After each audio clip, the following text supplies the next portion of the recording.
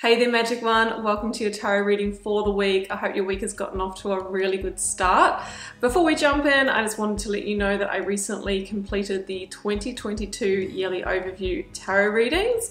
Um, I will pop the playlist up here for you, and you might want to jump in and see what the energies are available for you to align your inspired action to so that you can really bring through the meaningful and lasting change you want in your life this year.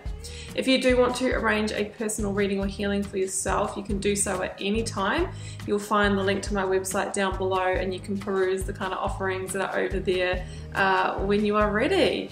Uh, to let you know that the doors are always open to the initiation. That is my immersive Learn Tarot journey. Uh, you can enroll at any time and you do get immediate lifetime access to all of the resources, which is online learning modules, practices. Uh, we've got lots of videos over there and also you get access to me through my private karmic community. So it's really great if you want to learn to guide yourself from your own intuition and learn to uncover your own subconscious blocks and beliefs so you know where you might be getting in your own way of really bringing through the change that you want in your life. So that's it from me. I just wanted to say hi and wish you a week full of love and magic. Let's head across to your reading now.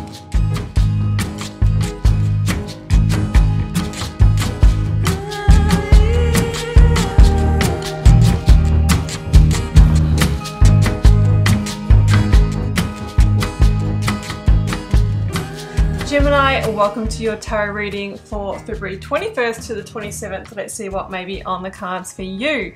I have the nine card block here, Gemini, three cards, recent past, three current focus energy, three near future outcome. I have some oracle cards, a lead tarot energy, and I've turned over the bottom of the deck.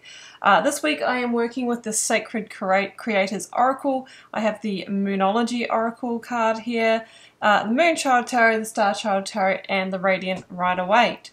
So, Gemini, it is time for change for you, and I feel this is going down in your work career, or maybe for some of you that are studying, this could be for you as well. So, let's jump in.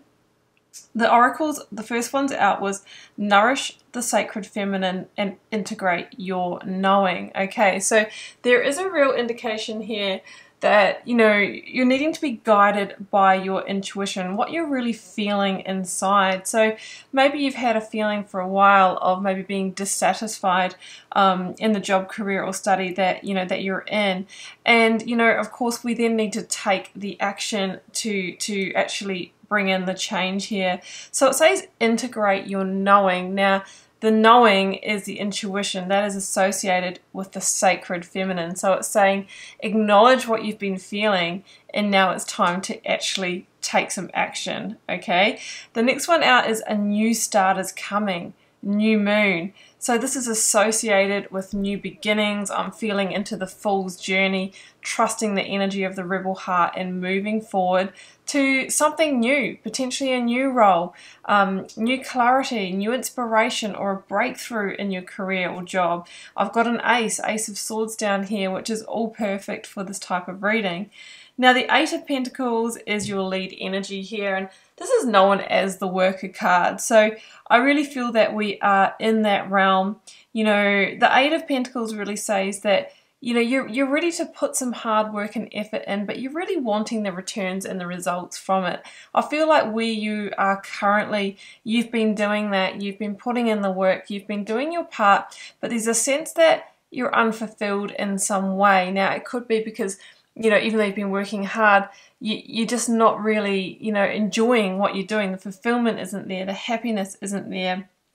Maybe for some of you the money isn't there, although I do have the, the Ten of Pentacles here. This may indicate what you are seeking, a greater sense of stability, a greater sense of financial achievement. But being the Ten of Pentacles, it can also indicate, you know, a completion in the current role or the current pathway where you are in work, career or study. So jumping into the tarot here, Gemini, I've got the Three of Pentacles, the Page of Swords, and the Hanged Man. Okay, so this is no new kind of uh, intuition or sort of enlightenment about your career. I think you've been feeling this for a while, Gemini, and it could be specifically, you know, Three of Pentacles because you're not thrilled about maybe the team that you work in. Maybe there are some interrelationship issues here with the with your colleagues, uh, that type of thing. That's what I'm feeling with the Three of Pentacles. Or it could just be that also that you've been working really hard, but you're not getting the promotion or the recognition. The Three of Pentacles is somebody who's kind of in that apprentice position. The Page of Swords is very, you know, young energy as well. And maybe you're still being treated as the junior or you know not really being able to to progress up the ranks to kind of team leader, leader supervisor manager that type of thing. And you're feeling stuck and you're like well how long do i need to to wait here for better pay or more responsibility? And you're feeling like your hands are tied in this role and the hanged man is waiting you know specifically for that enlightenment of how do i move forward here? Now the page of swords for me is this um, winds of change energy. It's like well I've kind of been waiting here for long enough and I'm coming to the to the conclusion that I'll actually still be waiting and nothing's really happening. So I'm taking matters into my own hands. And the Page of Swords can also be a communication. You might be actually communicating, hey, you know, not getting my needs met, I'm thinking about moving on or something like that. Generally, with the Hanged Man, they talk about dying the death of the Hanged Man. That's because the Hanged Man is number 12 in the Major Arcana and the Death card is number 13. So it's almost like you're resisting an ending here, right? Ten of Pentacles, maybe leaving. You know, we like it to we like to think then it's going to change and transform in that situation, but you know, generally, unless there's some kind of intervention here, things will continue as they are. And I'm really feeling into completion for you, but a new start is coming. So in the current focus energy, Gemini, I have the Four of Swords, the Eight of Cups, and the Knight of Wands. Now, this is a Sagittarian energy for me.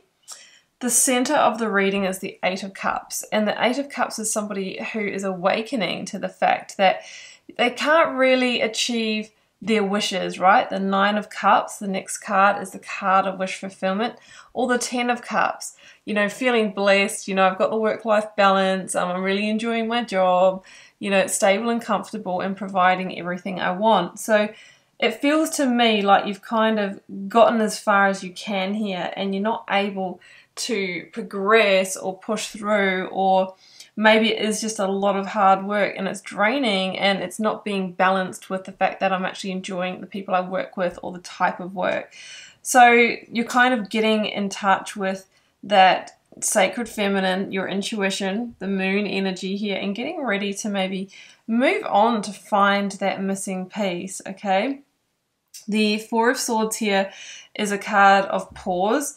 I think that you're kind of taking that moment to to get a plan in place. You're looking for the clarity, you're looking for the breakthrough of how to actually, you know, make this transition to, to different roles.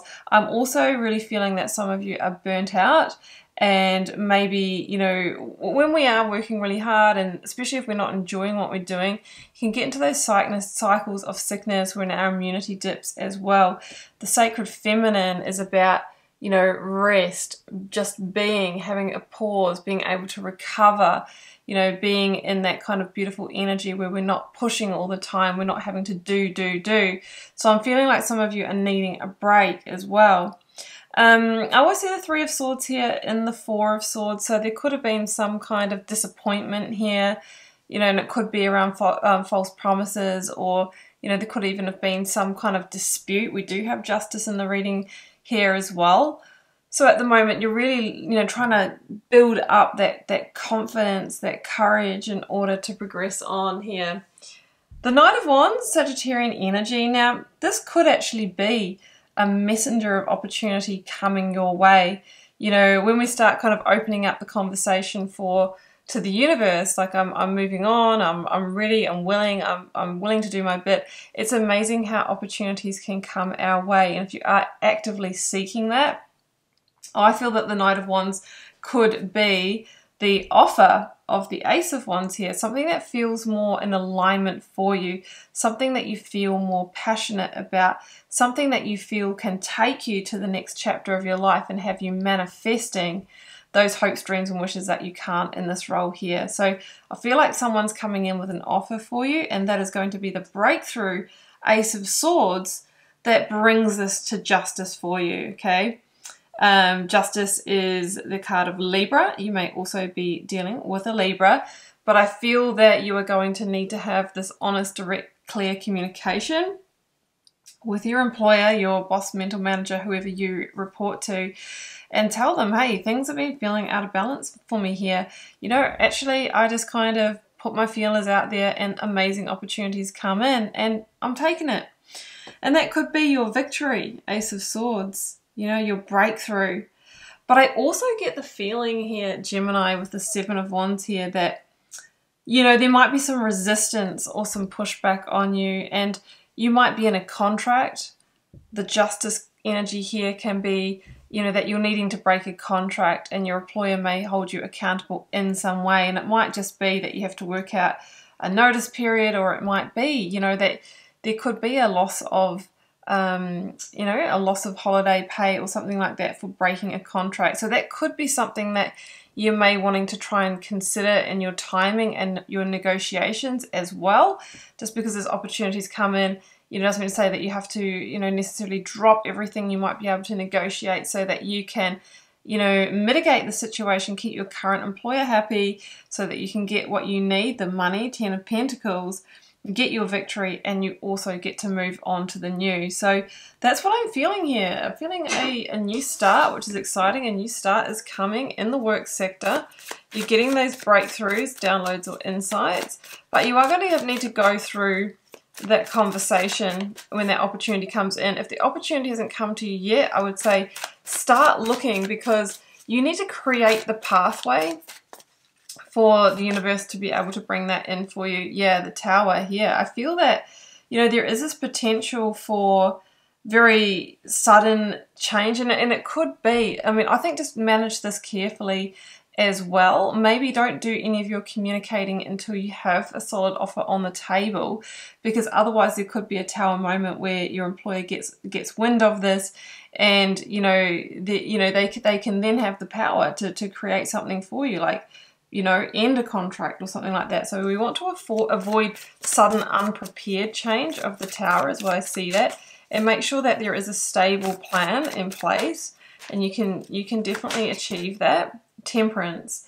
That's the, the calm after the storm, the balancing or healing energy. That is also a Sagittarius energy.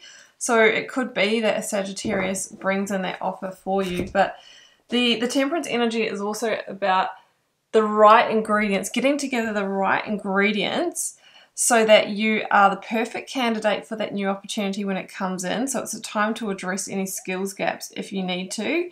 But also, it's sort of saying that you really need to be mindful of your timing here and just make sure that you know you're doing it in in the best the best interests of yourself okay sometimes we think, oh, I'm going to try and give them extra notice, I'm going to do the right thing, but that can actually put you at a real disadvantage here, is what I'm feeling, okay?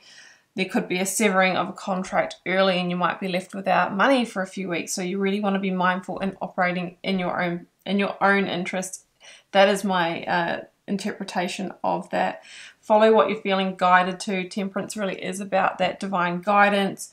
And it, ultimately, it says that when all is said and done, Gemini, you will be feeling in a greater place of balance mentally, emotionally, spiritually, and physically, and kind of out of this this sort of burnout cycle of working and pushing really hard, but not getting a lot back from it. And ultimately, you need to nourish that sacred feminine, take some time out to rest, just to be, and just to kind of let things expand and um, and, and play out as well. Gemini, that's what I have for you. I am going to leave it here and I hope you enjoyed this channel tarot message, keeping in mind it's a general reading for the collective and may or may not be for you. Feel free to drop me a comment if you're called to share. I do read them all and try to interact with you all over there as well. Helps me get to know you guys, connect with your energy and see what the collective themes are. It's been a pleasure to read your cards, Gemini. I will see you back here for another one next week. Bye for now.